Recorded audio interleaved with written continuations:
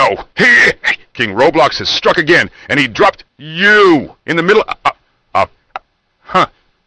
Nowhere. Ah, it's time to take him down.